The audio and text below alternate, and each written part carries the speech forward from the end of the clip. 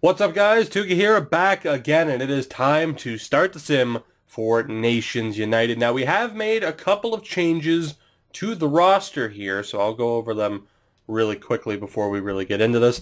Although I should say, you know, it's not really the first few seasons I'm concerned about. It's after that, once we have the prospects from these nations. Here are the lines we are going to roll with. As suggested, I added the Kostitsins, so we'll see what they end up doing. Defensively, it looks pretty much the same. Not the strongest defense we could have possibly had. Goaltender, big change. We're going with Jonas Hiller instead of Frederik Andersen. We'll leave him on Toronto. Grubauer will be the backup. Down in Iowa, we have so much squad depth. Uh, Michael Raffles there. We added Marcel Goc. We added Stefan DaCosta, Damien Brunner, uh, Peter Regin we also added. We now have guys like Kuhnhackl, Ronald Kenins. Defensively, we added Philip Larsen. He has also been added to the Vancouver Canucks in the Islanders mode. Thomas Pock, another defender we've added. Roman Hrabarenka. Andreas Nodal. Unfortunately, we only have five defensemen, so Nodal is there as well. Scratched players, Fiala. Daniel Sprong. Now, there are certain players I haven't added because despite their birthplace or their nationality, they play for other national teams. Anton Khudobin is a prime example. Born in Kazakhstan, plays for the Russians. Daniel Sprong, born in the Netherlands, but wants to play for Team Canada, but he hasn't gotten a license to play for Team Canada yet. Obviously, that's more of a career move. You're not going to really accomplish anything playing for the Dutch, but playing for Team Canada could be very big. But regardless, we have him here. We also added Kaspar Daugavins, the goaltenders, Kristers Gudlevskis, and Niklas Treutle. But that is the team. Let's waste no more time because honestly, we really can't make any moves at the deadline anyway. So we're going to need the sim hopefully the entire season here in this one episode. And actually, I think I'll bite the bullet. This might be a longer episode, and I normally like to, you know, have these be under 20 minutes, but we are going to have to sim the entire season because obviously we're not going to really make any moves at the trade deadline. There is absolutely no purpose because we can't get the majority of NHLers. This series really kicks off in about two seasons or so once we have, you know, gotten prospects in from these nations. And really, again, it's going to be, we, we will scout other nations aside from Germany and Switzerland, but those are the big two.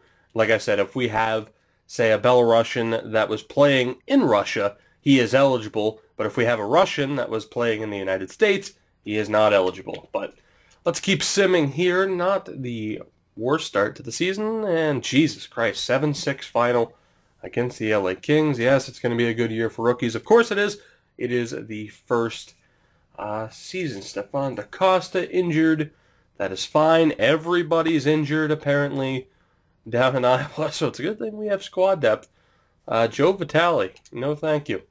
I'd like to pick you up there, but we cannot as per rules of this series. So, so far, a 5 and 2 record on the season isn't terrible. I mean, that's the, this team shouldn't be terrible to begin with. Obviously, goaltending, a little bit of a weak point. Defensively, a little bit of a weak point. But I mean, come on, Zuccarello, Kopitar, Vanek as our top line.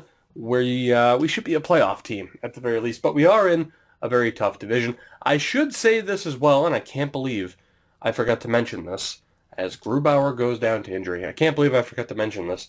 Um, as far as where other players went, rather than um, rather than putting, say, uh, Zach Parise, trading him straight up for Anze Kopitar, I just released everybody into free agency and had it be an absolute free-for-all. So odds are a team like LA or like the Nashville Predators in the case of them losing Roman Josi, were able to replace that player because of the extra cap space they had.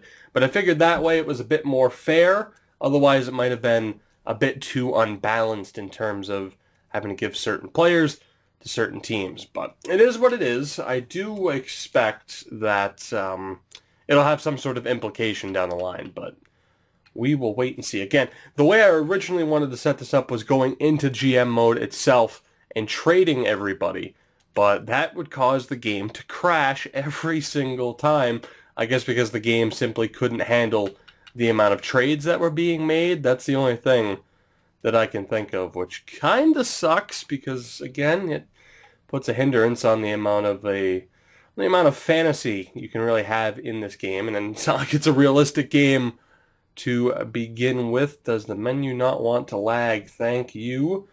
All right, let's see. A 4-1 loss to Chicago this first month.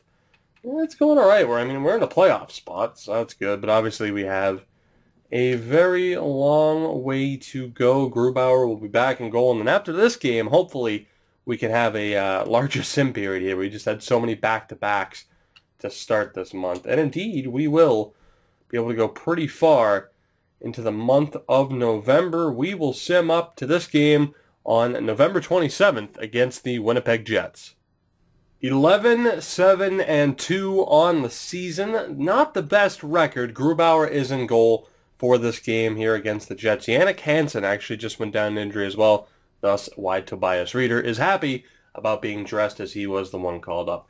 We get the 2-1 win against the Jets, and we're actually Going to do a decent bit of simming here. I'm not going to worry about back-to-back games. I'll do that on my own time.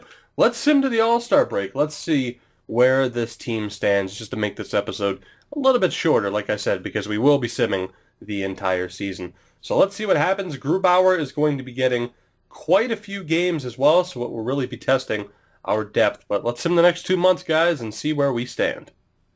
The Wild have reached the All-Star break, and unfortunately, it's not looking too good. 25, 21, and 3 on the season. The Iowa Wild are doing good.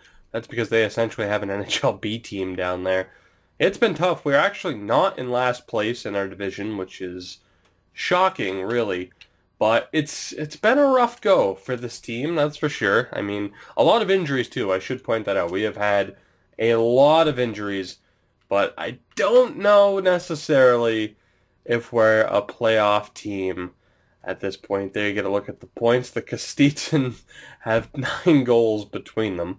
So that pretty much shows you how it's gone. We might look at a few roster changes here as far as the goaltending goes. Let's take a look at Jonas Hiller and how he's done. He has a 912, Grubauer a 921, so the goaltending hasn't been there.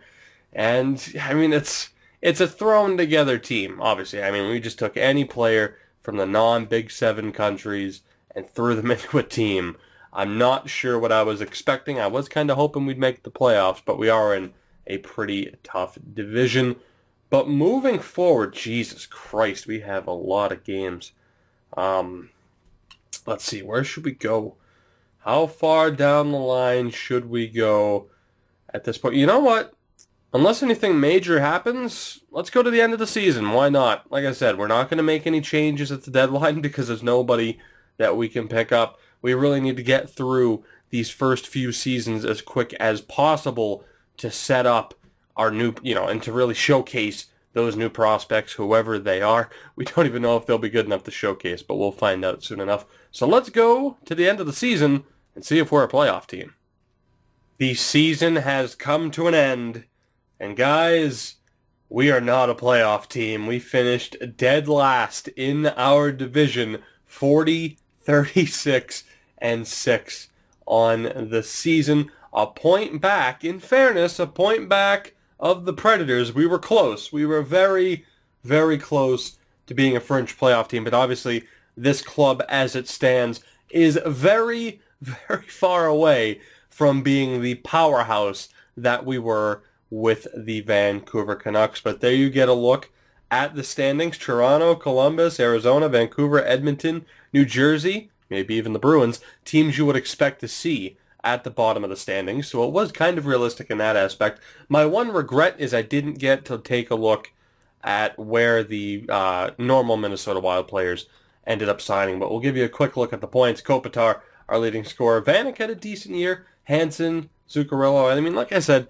we had a lot of injuries to deal with and a lot of players who simply couldn't do anything. Michael Grabner was pretty terrible. I'm not sure why he's down to an 80. Actually, a lot of players are down in overall. Nikolaj Ehlers, we actually ended up sending him back to junior because we had the option.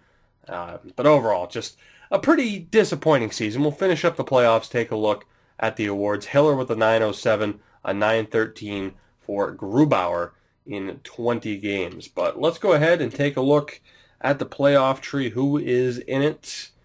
Uh, I'm going to say Chicago, Pittsburgh. Chicago wins the cup. That's my guess right there. The good news is, though, that the Iowa Wild are monsters and have won 52 games this season, so they very well could have a very, very long run, especially with Gudlevskis in the goal.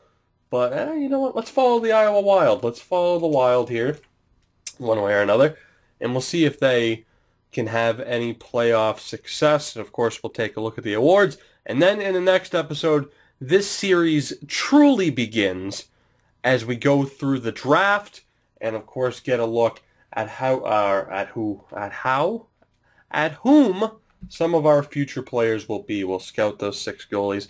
I will say this too, as far as the draft goes, we'll probably do it live and pretty much just look at who's projected to go next, you know, sort it by that column and then just see whoever the highest person is that we can draft from a certain nationality is who we will take. Are the Wild going to crash and burn out of the playoffs in the first round? They are. Jesus Christ. Are you serious? How many games did you guys win? 54 games and they crash out in the first round. All right then. Um, well, that didn't that didn't go too long. I'm gonna sim ahead here. I'll show you the awards, and then we'll wrap up this episode, guys.